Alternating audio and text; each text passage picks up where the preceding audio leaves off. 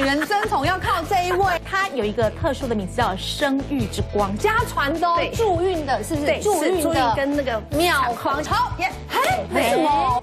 产妇会有一点忧郁症，我会设计用这个紫米，哎，这有点像那八宝糕，对不对？哇，这么多，看到哎在吸在上面里面，这个来看一下，好香哦。这个就是非常纯粹的低基嗯质，很简单呢。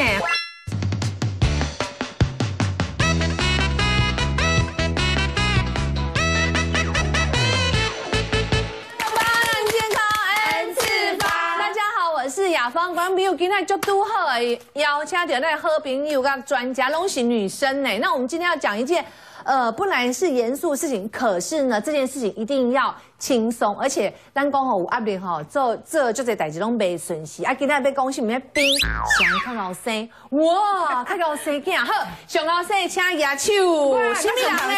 好，沈毅老师，你上老生，对嘿为什么嘞？嗯因为我一年结婚一年不到，我就两个小孩了。还有说他一年生两个，哦对年头一个哦年尾有两个小孩哇，那谁生的最快？等一下告诉大家。好，赶快欢迎专家，我们周医师、周仁医师，大家好。好，宋明化营养师，好。好，哎，我们要恭喜他呢，对不对？新手妈妈，刚刚上路，对不对？最嫩的一个，哦，最嫩的一个。但是他的经验应该也比较不足，对不对？对。可是他的先生因为是中医师啊，可以应该调得很好哦。哎，他们中西合并哎，对哎那是不是很厉害呢？好，另外是我们的主厨轩轩，大家好，轩轩喜来奶对熊笑脸呢。对，好，还小小宝宝是哎六个月嘛，哈六个月哎，那我们来讲一下，那谁生的最快哈？我真的算生最比快比快我，最快，为什么？因为我阵痛只有两分钟，哈，两分钟，两然后两分钟之后，那时候我在台大租了最大一间，想说本人第一次，我不好意思说老娘本人第一次生小孩，我住了一天一个晚上一万块钱的一个，哇，还为了钱要搞坏人，你们很像所以他女儿很会帮他省钱，你们很像母母猪母牛在生对，一个人一床，对不对？我不是，我是一个人一间，还有画，还有小冰箱，就再进去两两分钟之后就上个厕所，就听到还没享受就生了，然后就护士说小孩没心跳了，小孩没心跳了所以小我小孩是没有心跳。然后我那时候心里一个想法是说，啊，浪费我九个月了。他竟然是这个想法，我跟你说，还没有生出小孩前是没有母爱的，还没有靠小孩前都没有母爱。就哎，我就握着医生的手说，医生麻烦一下，只要好让我。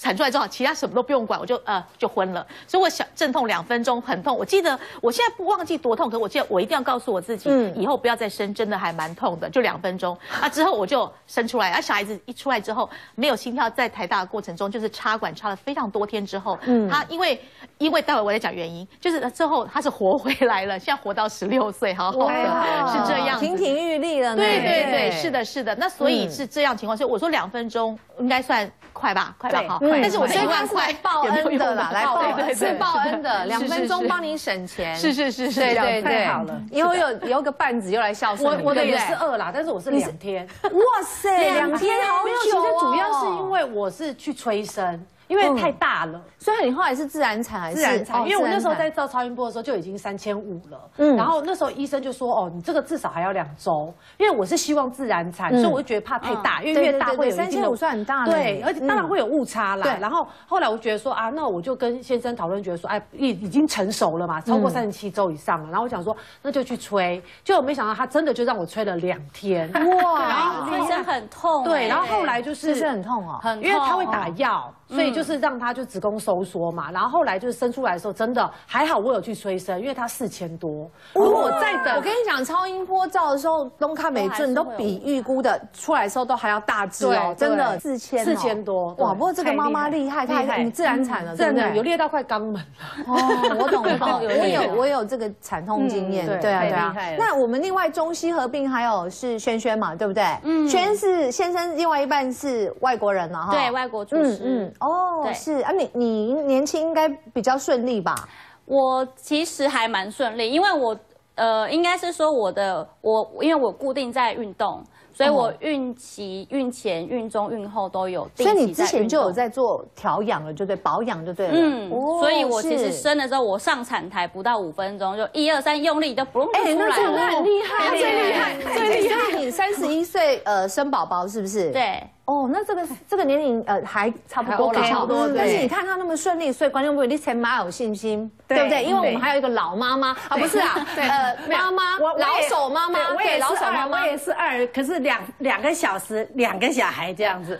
两个哦，哦对对对对，等一下哈，有独家的画面没有很让大家哦，一共一二二哈，对吧？哈好，不过呢，有一位哈呃妈妈，我们不得不佩服她，很厉害，闪亮闪亮三姐妹里面的小珍，呃，她呃三月九号剖腹生产，但是你知道她生一个宝宝多么不容易，因为她的体质不适合怀孕，她有这个海洋性贫血、子宫肌瘤、巧克力囊肿，哇。是目前妇女最常见的疾病，怀孕九个月让她受尽折磨，哎，很辛苦哎，这里面如果其中有一个就不容易，就她是三个哎，好，是不是周医师？巧克力囊肿，我要解释一下，就是因为嗯。巧克力囊肿它本身是在一个呃卵巢，我们子子宫内膜异位或子宫肌腺症，它是在怀孕之前。医生就会跟你说，呃，不好意思哦，小珍，你可能是不太好怀孕，是连怀孕都怀不出来的，我就是有不孕症的问题对，哦是是，而且呃 size 还蛮大的，大概五五公分多，就是在左边的卵巢。所以其实那时候医生也是，不过很多医生每个医生其实讲法都不一样，有些人觉得说，哎，还是有你试试看对对巧克力囊你试试肿有怀孕，看对对但是有些医生就会跟你讲说，因为我在左边嘛，那每个月排卵的有可能左边有左边右边不一样所以他的医生说，如果你这个月正好是左边排卵，那你可能就不要哦抱太大的希对望，对对因为排出来的卵子品质也不会太好。嗯。但是有些医生又会给你信心说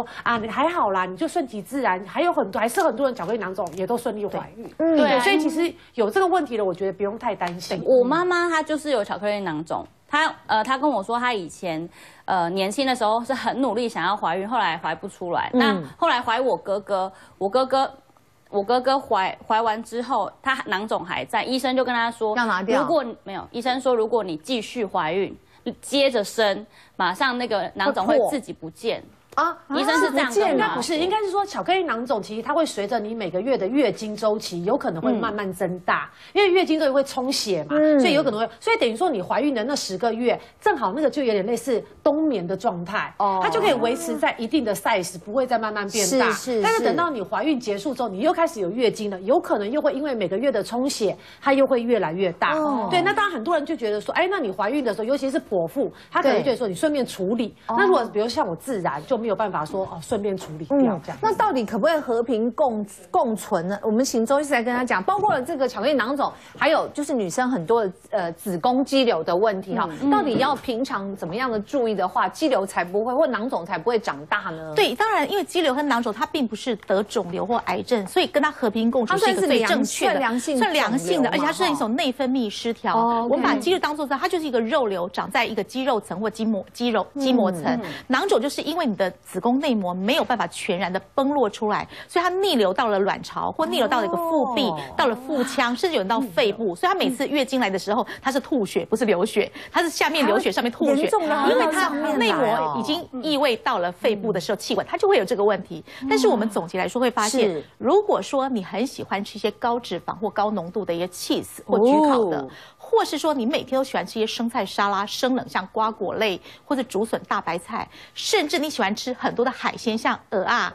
牡蛎、虾有子壳的那对种对因为还有像这些雌激素，比方说像山药、蜂王乳、月见草，还有一些鸡睾丸有些很爱吃鸡佛这东西，对这个会发现说，哦，因为其实你的荷尔蒙接受器比较多。我举个例子，雅芳，如果说你身体上只有带一百个雷达，可我天生我妈妈给我一万个雷达，嗯所以六就是说，你对于这些像鸡睾丸好了，你吃十个，你可能只会。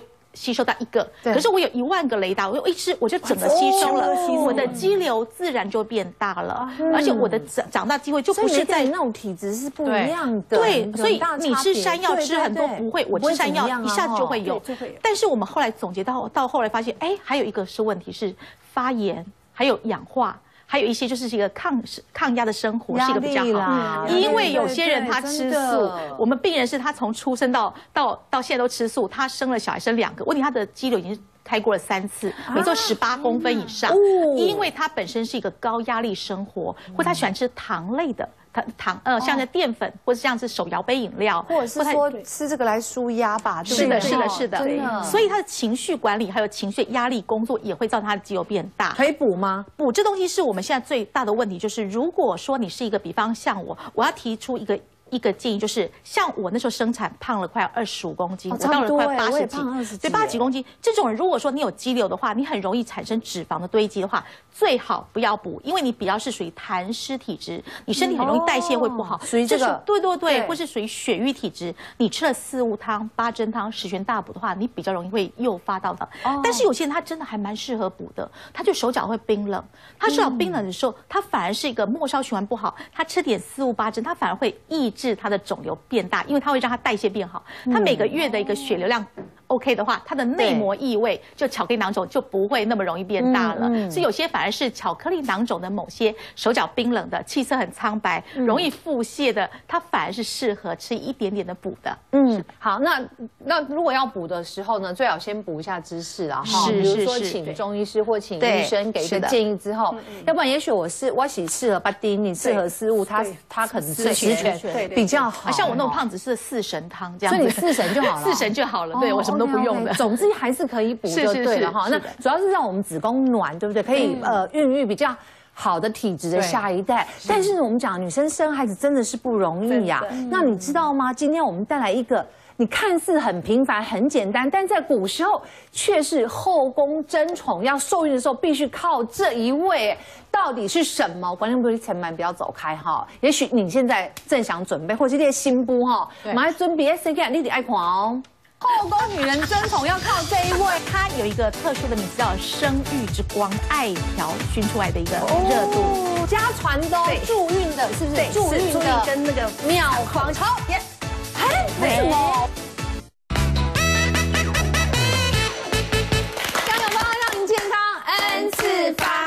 我们要特别关心哈，应该说帮大家呃做人成功了。观众朋友，呃，你现在赶快跟我们小小芳哈一起来合照，然后推三个朋友分享出去，我们就送你这个。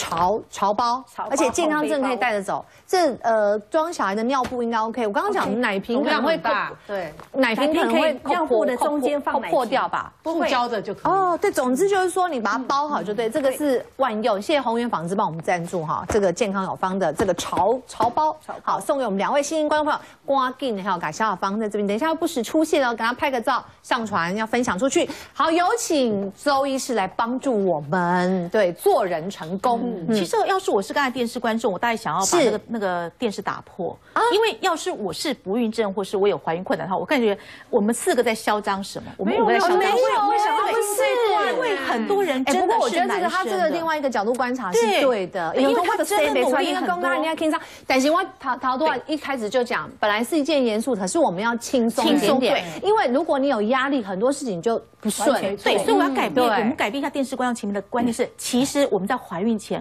我们必须要做到这些事情，会让你的压力减少很多。哦，这很重因为要，因为不管是台湾也好，或全世界，事实上不孕症的人数还是维持三分之一到快要二分之一的一个人口所以是很多人是需要准备后才会怀孕成功，而且生育很年龄一辛苦往后延，对对对，是的是的，啊。所以我们会发现说，中医有一些是我们要把广寒冷宫变成暖宫法的一个方法。嗯嗯，第一个就是如果我们用中医调养，然后改善体质，可以去增加怀孕为什么呢？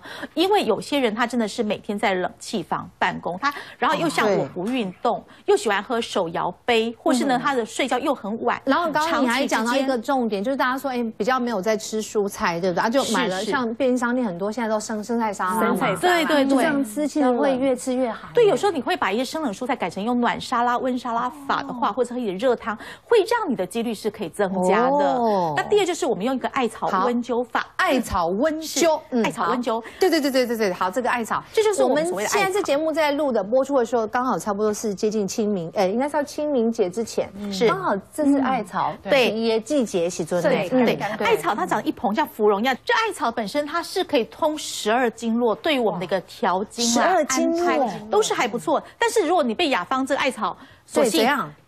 这个可以当艾艾艾草来熏，呸，怎么可能呢？可以等一下，等一下，那为什么后宫女人争宠要靠这一位呢？就表示她很厉害啊？怎么样？煎炒煮炸或熏怎么样都可以。人家孟子在很久很久，我忘记孟子哪一代的，孟子那一代就说了，你若是对七年之病要求三年之爱，你这个是一天之爱，没有办法用，我们必须把艾草晒干之后，经过三年的晒干存放，对它本身的挥发有臭不皮呀啦，耐操破一洗，它是挥发掉不好的。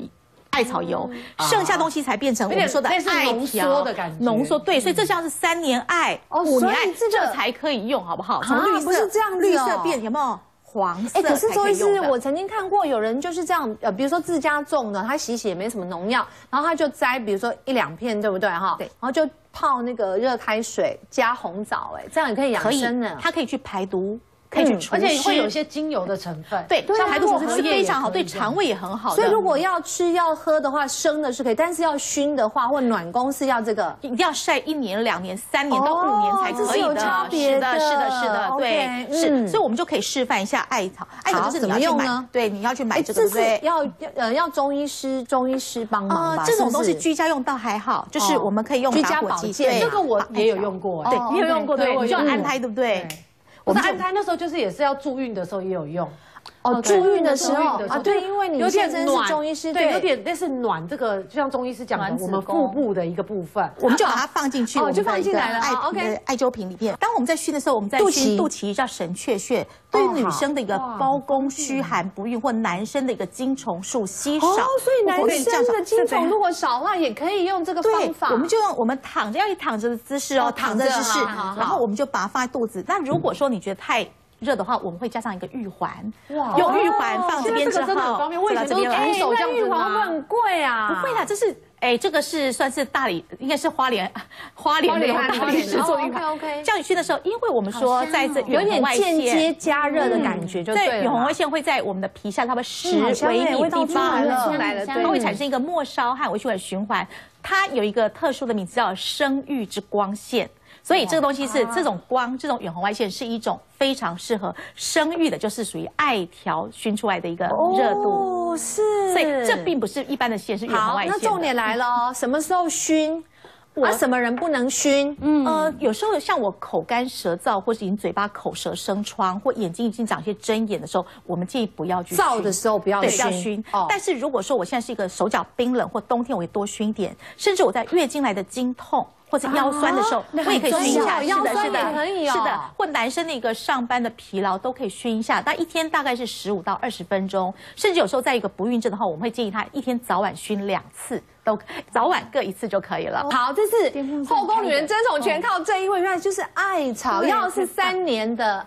三年到五年都可以，五年的爱，好好好，所以男生女生都适合哈。还有呢，我们再来看，回到刚刚那一张字卡上面，还有一个很重要的是。暖宫助阳食补，对，有关于比较起阳气的，像韭菜或香菜里面挥发油，大家都知道了。可是你在一个要想要暖宫助助阳的时候，你就不要再吃一些鸡胸肉，你可以增加你的红肉，像牛肉、羊肉的一个比例，事实要补充了。但是尽量不要吃到烤牛肉，或是说像是煎的很焦的牛肉。OK，如果我们把红肉和羊肉铁质和里面的叶酸补充到，甚至像有些像生姜、肉桂都是非常好的，对于循环还有温经散寒好。东西，那核桃和花生是为什么？因为其实它里面就有含有部分的雌激素，也是一个帮助助孕的一个一个食物了。那是的，我们回到一个适度的减肥和这样运动是减肥。呃，那时候我记得我自己本身是胖超快二十几公斤，我发现说，其实在我的腰椎还有对于一个末梢还有小腿的静脉的一个循环，就是比较不 OK 的时候，其实我在怀孕前就是有一些。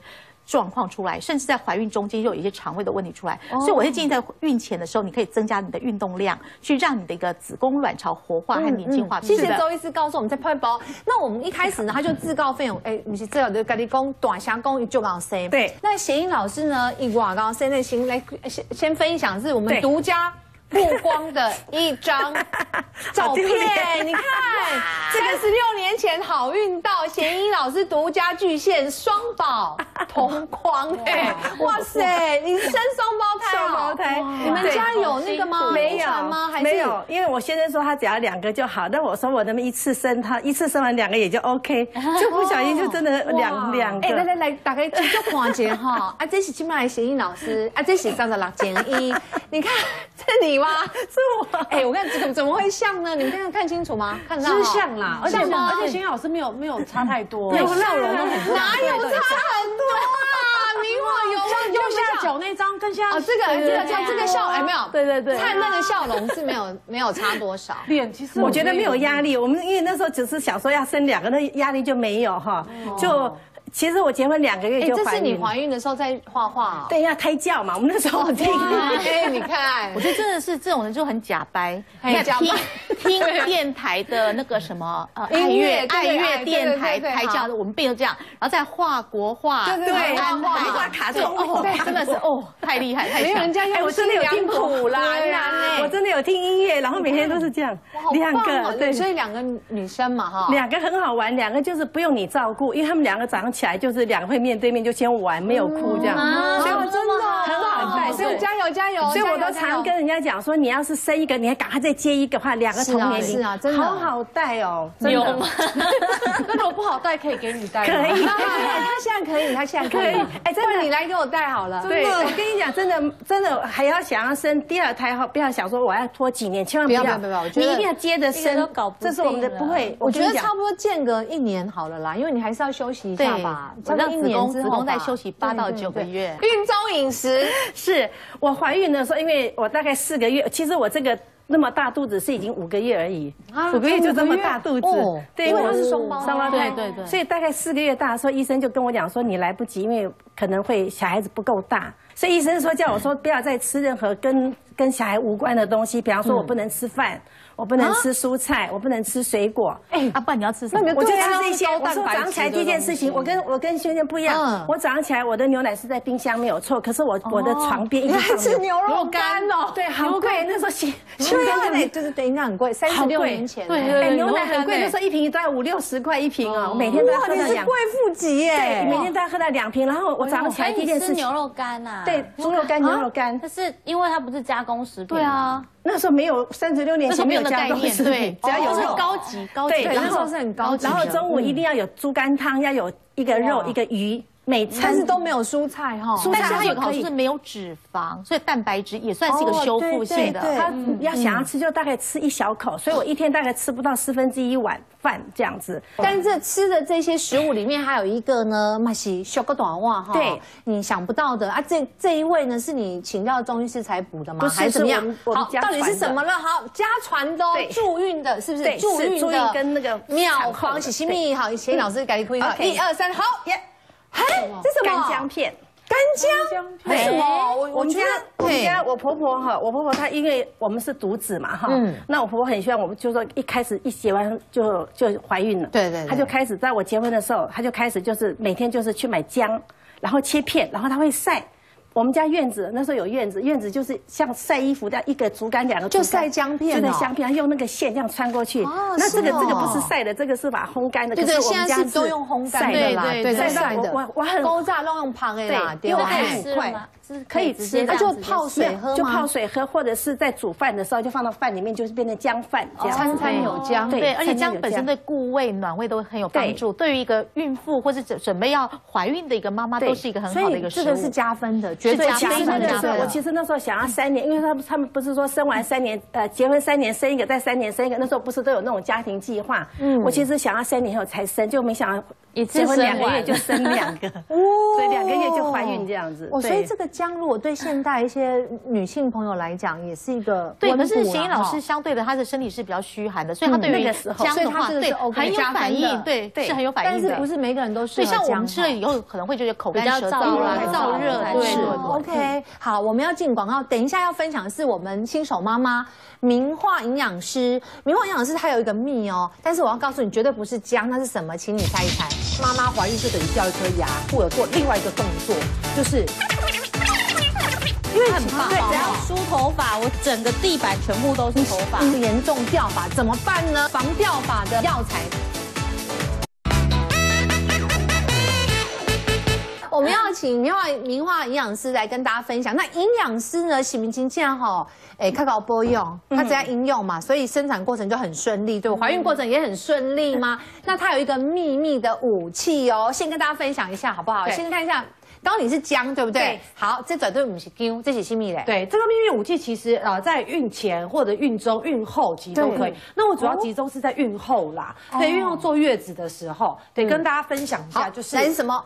黑豆哦，黑豆水，哦，因为其实像泡成那个，呃对。就泡水这样，是不是？但是这个黑豆是把它弄到对，我要强调的是，这个黑豆是有炒过的，对。哦就是生的买回来之后，然后你要把它炒大概十五分钟，就是炒到有点裂。是不是因为比较不会冷，还是怎样？一定要黑豆不能吃生的，豆子不能对吃，对对对豆子是生的。我至于说为什么黑豆是像刚刚周医师就有提到，其实黑豆跟黄豆一样，它都有一些植物性的一些荷尔蒙，而且它那个抗氧化好像，你对，等一下我再把它再泡一次，对，它的花青素其实也很很多，很而至于说，像很多人会担心说啊，坐月子的时候不能喝水，对对对那其实我们就可以用黑豆，因为黑豆其实它本身对于乳汁的一个呃刺激、分泌，还有它的量，其实都有一定的帮助。等一下它脱壳之后，这颜色会更漂对亮，。但其实像你喝这个水啊，其实你这个黑豆啊，你也不见得要丢掉，你可以把它放煮排骨汤，对煮一些汤，所以其实它的利用是很完整的，都不用浪费。所以你坐月子的时候可以用黑豆水啊。，对我大概一天没关系哦我大概一天喝两千到三千 CC。月子中心会给好多这个黑豆水，黑豆水。但是我是强调说，孕前其实就可以开始吃哦了，也不见得是只有呃坐月子的时候才食用这样子。嗯嗯而至于说我其实我怀孕的时候，来看您的对对其实我很强调就是运动，真的就像刚刚周医生讲的，所以你看，人家那个名画营养师，他在孕前的时候就已经有一些对，固定的运动。我跟大部分的人女，尤其是女生来说，其实我不会呃很规律的运动。但是后来我发现说，运动第一个就是舒压，因为有时候、像刚轩讲的，其实有时候怀孕会有一定的压力。比如说每个月就期待那一次就，哎，有人好像就会比较忧郁起来，对不对会会会想很多，真的没错，所以自己给自己压力，所以我就觉得运动的时候，其实是我很开心、舒压的时候。是然后再搭配运动之后，我发觉，哎，我以前会手脚冰冷。哎，运动之后我反而循环，整个呃手脚冰冷的情况也改善了。对对对，然后还有就是刚才哎周医师用的这个艾灸，我这个肚子这边哦我都有。是对嗯，然后还有就是呃补充品，因为哎，对，这个很重要，叶对酸叶啊、肌醇，对，因为刚才前面提到说，我也有巧克力囊肿，是左边，而且有五公分这么大，哦所以那时候其实医生就说，你有可能排出来的卵子品质不是这么好，所以当然受孕或着床的情况也会受到影响。嗯所以那时候他就有建议我说，你可以吃肌醇来增加你卵子的品质，哦是让它的品质哎比较好。但这都是经过医师的指示，对对对，没错。那低好基金其实不一定要低基金，其实一般的鸡汤我觉得都 OK，就保只是对比较方便低基好金来做一个，而且我自己有去实验哦，因为嗯研究所毕业就是有实验地，我就是吃了这些东西之后，我有去照超音波，因为我觉得照超音波你才真的知道自己的子宫内膜的情况怎么样嗯。然后医生，因为那个医生我长期都有在定期检查，然后他说，哎，你这个月的子宫内膜很漂亮，嗯。嗯，他说你要加油哦，就代表说哦。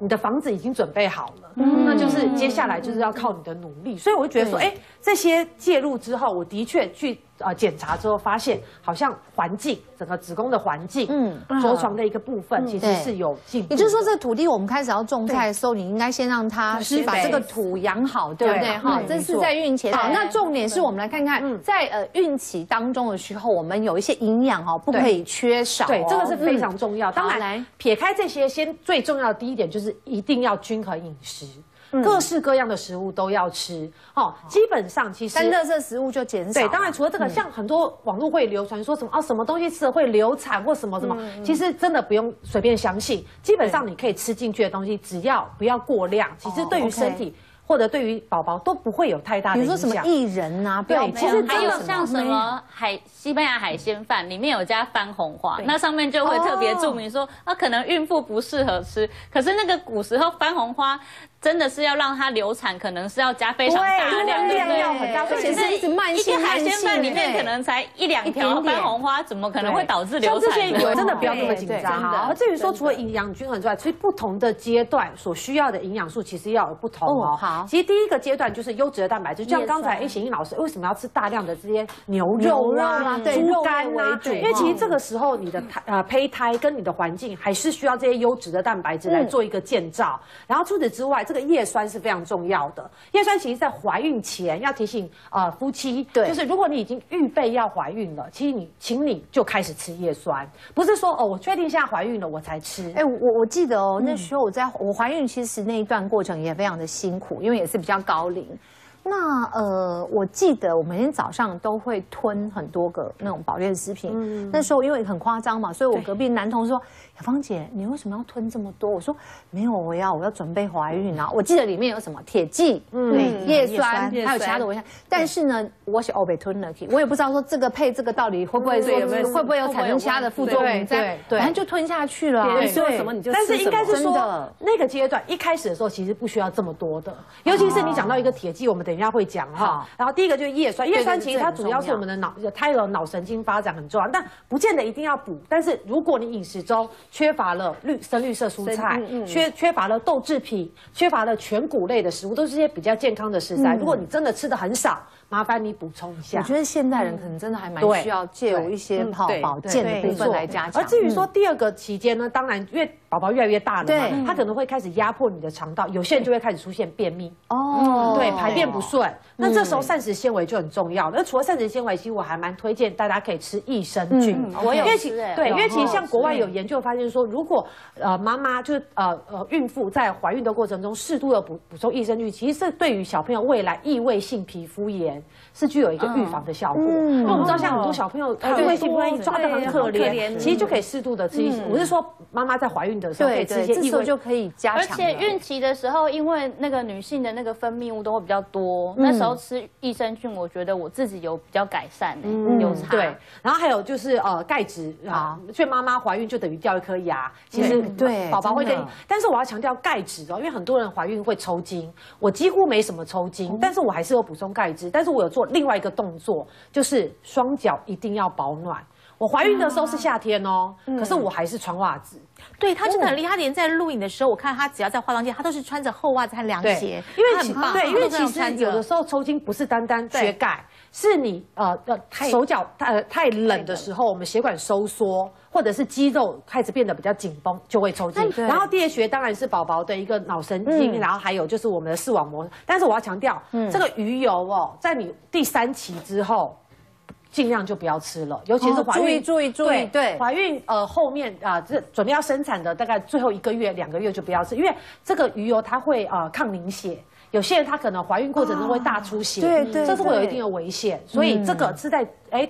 中期可以吃，等等到第三期的时候，可能就量就要开始慢慢减少了。而至于最后一期呢，其实像刚刚雅芳讲到的铁，铁，因为这时候其实怀孕的过程，包括生产的过程，包括哺乳的过程，其实我们身体会消流失非常多的铁。嗯，所以这个，而且这个时候宝宝越来越大，他的血流量越来越大，他会跟你抢铁。所以这个时候医生通常都会开铁剂，或希望你多吃一些牛肉、红肉。但是我要强调的是，铁为什么你刚才第一期就说哦，我有补充一些铁？对对对，因为这个铁剂吃太多会便秘。嗯，怀孕本来就是已经是一个便秘的高危险群，你又吃大量的铁剂，会让你排便更不顺，所以这样。而至于说卵磷脂，其实也是宝宝发育很重要。那当然，平常我们在比如说蛋黄。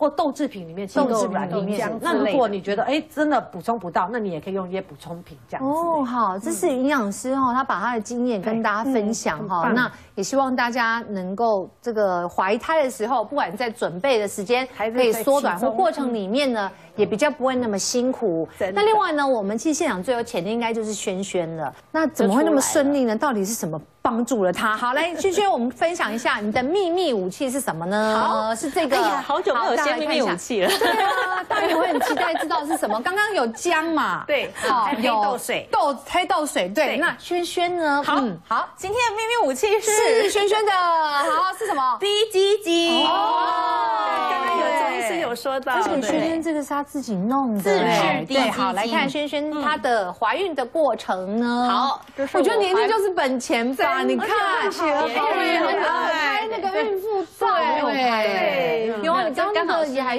我我朋友是有去拍全裸，这是我几乎我有拍，这个拍起来多性感呐，对，真的不一样的味道，就是去垦丁玩度假的时候，对不对？前期时候，哎，其实人家有吃，就是叶酸跟深绿色的蔬菜嘛，嗯，还蛮多的。然后中期的时候正常吃，哎，正常吃。对，不过他这时候就补充铁质了，哦，蛋白质，蛋白质。好，这跟刚刚其实营养师提醒是一样，只是说铁质可能要放在比较后期会比较好一点。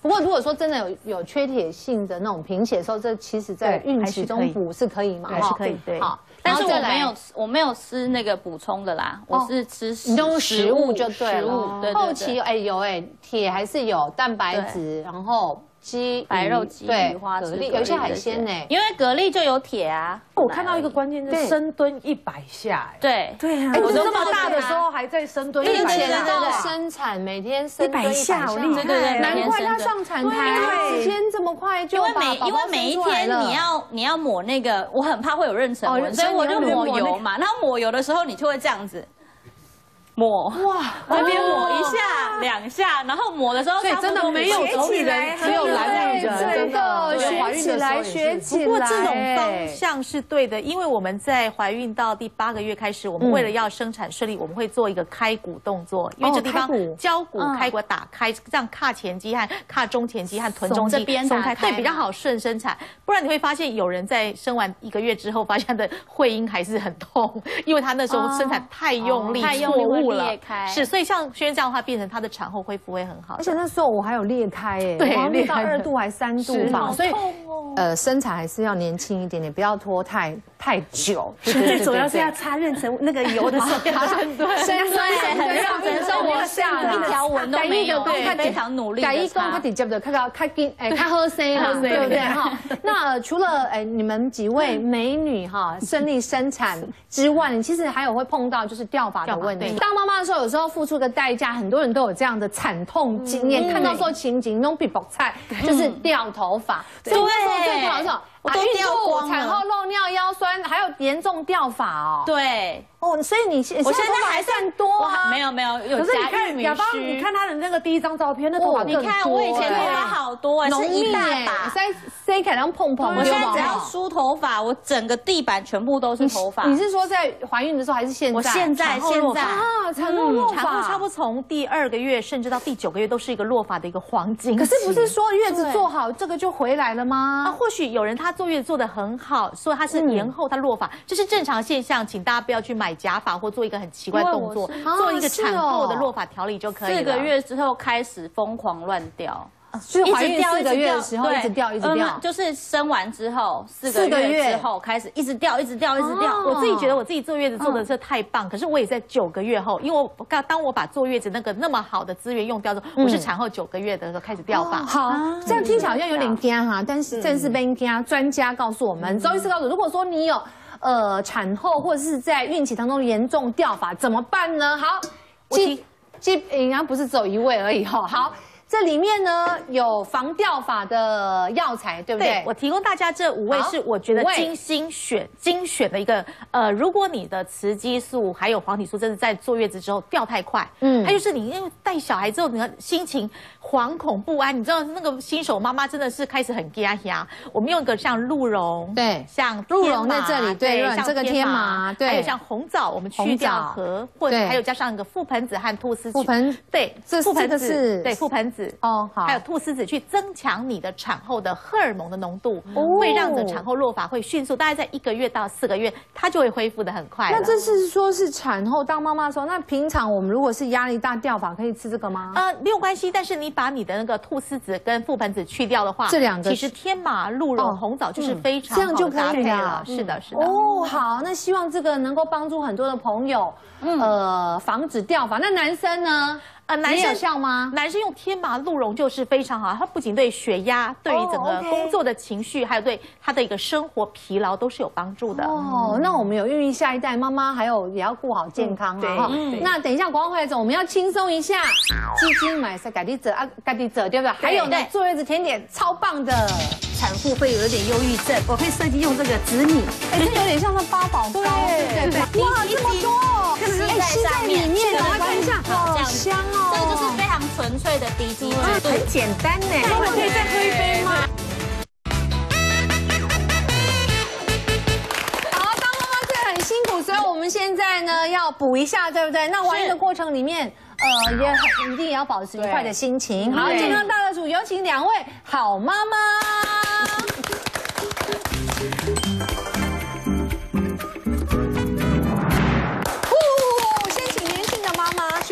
好，那因为其实现在那个市面上很多流行的，为了方便就是低基金嘛。啊对。但是其实很多妈妈觉得说低基金一盒好贵哦，一包就要六七十块，对 Baby Rocky 啦。那但是又要补元气怎么办？对。自己在家里做。哦对，好。那其实传统的做法，自己在家里做，你可以买一只像我们我们家就是对鸡嘛哦阿挑公鸡，因为母鸡油比较多，滴出来那个太油了。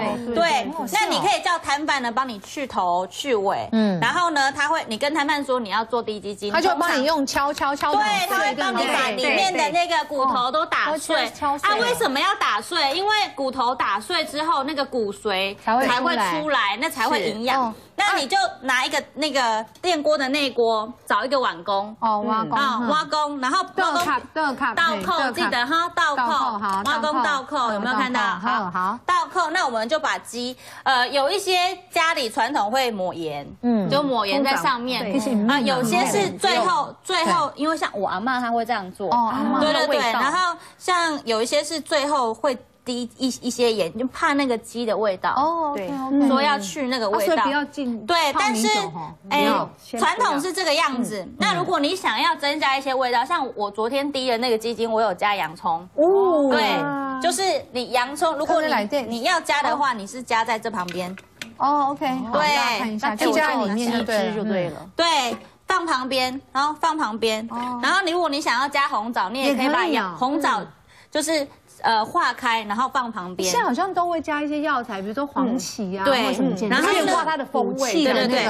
我们继续好来哈，这样子盖住哦，盖住之后呢，我们需要一个铝箔纸，嗯，把上面盖住。你最好多包个两三层，因为这样子你可以防止这个水蒸气流到我们里的这个低基金里面。会纯呐，对不对，我对？们要萃取它的浓度。很简单呢哈。对，然后我们就可以这样直接放到电锅里面去。那外锅放多少水？哎，外锅放多少水？就是放差不多呃两杯，每一次放两杯，然后重复四次，哦大概大概八八杯三到四个小时哦。对，但是记得我们的那个。锅子里面下面最好垫一个筷子，或者是要把它垫高，就垫个竹筷或叉子，因为水会直接加不要让它然后再干烧。进去哦，不要干不要干烧，防止它干烧，不然你的低基金会被烧光。对。对。对。对啊，对，那当然呢，如果你这样就这样就就这样哦，对。这样好简单呢，就是很简单啊啊，如果说我们家只有一个人或怎样，我不要吃那么大只，怎么办对，不要那么大只，或是你家里超市就是买不到全鸡，没有关系，哦我们超市有至少有卖鸡腿。哦，鸡腿，对，那我会教大家在家里可以买鸡腿的方式，用鸡腿的方式哦，嗯一样把骨头敲碎。嗯然后用刚刚的方式来做。那我们这边已经有一个鸡腿的鸡腿可以现场让大家看一下。好来一二三。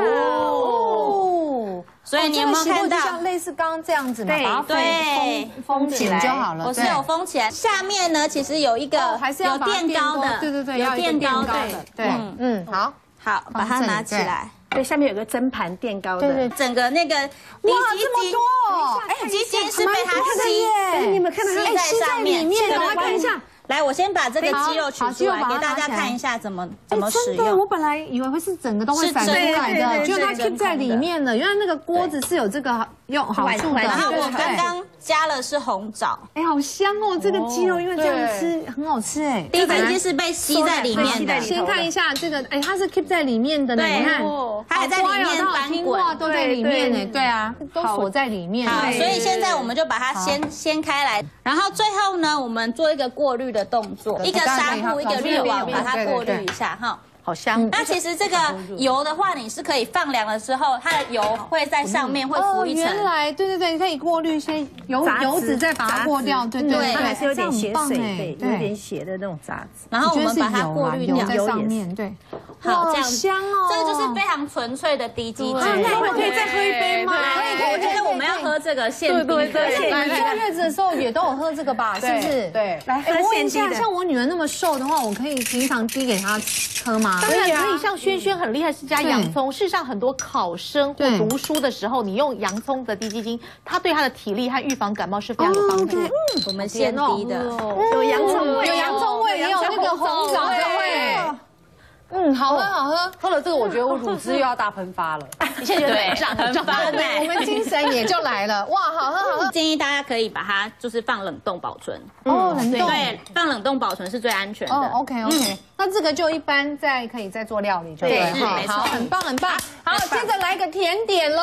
嗯，我们也是简单版的哈。我们今天是甜的紫米，算甜紫米糕吧哈。对，因为因为有时候孕那个产妇会有一点忧郁症嘛哈，那而且也会有朋友去看她，那给他们朋友吃什么？当然一起分享我们的月子餐嘛。是，而且这是简单的方法，所以我会我会设计用这个紫米。哈，那紫米我这是这个是原先这也有铁质吧？也有铁质，有马青素，对不对？补的，对。那我是洗干净以后就泡水，好泡大概这是泡水，再泡水哈，阿美先还没有还没有熟，就是泡过水，就是比例是，假如说我是煮四杯的紫米，我就放四杯的水，哦，一比一，洗哎一比一，好，那个洗干净后就泡了它。假如说你很赶的话，用泡热水其实也是可以的哈。然后呢，就直接加上我们这个甜的，好桂圆，我今天大概是四杯米加上大概一百。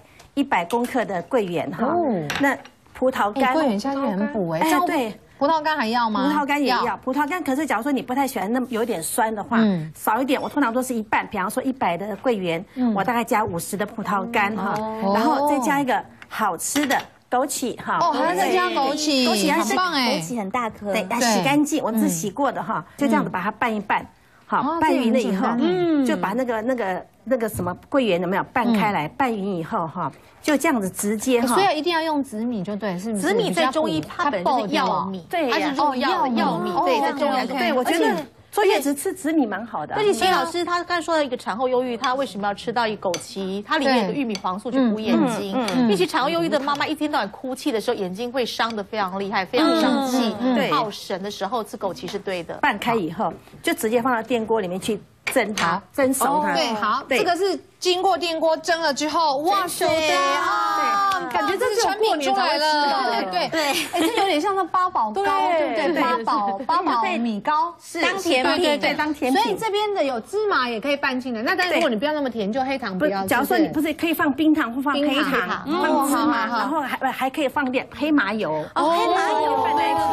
这个是原味，完全没有甜味那要切喽，对不对？好，就直接咬就可以了。可以分享了哇！对，好，赶快，我期待期待。没用这把，用这个用这个干净。好嘞，老师帮我们分享。这个没有放糖的，OK 吗可以可以。这个其实像桂圆、枸杞都有甜味。哎，再补一下，再补一下。本来再接再厉，再接再厉哦。哎，你们真的都要在增产报国呢？再接真的有钱啊！完你的怀孕，我已经要我弃权了，然后周医师可以了。来，萱萱，长一点。你们那边有小汤匙吗？来，要要对不对？不好意思。来来来来，会不会下次来周一次就怀孕了？对，搞不好。哎，好紧张！我今天是我排卵期吗？周医师，你要帮我们带来好运呢，好运呢，很重要哎。对，就说有人喜欢吃甜，还可以加。又补了这个哇，对，嗯，很方便，很简单。再生一个没问题。好，大家不要灰心哦，要再接再厉，努力。很甜的，嗯嗯，哎，这很好吃哎，好吃哈，而且那个米很 Q 哎，对的，而且可以放冷冻，就一块一块的，要要吃的时候再加热就可以了，很方便。嗯，可是这里还有铁质哈。对对，我本来想说你就是。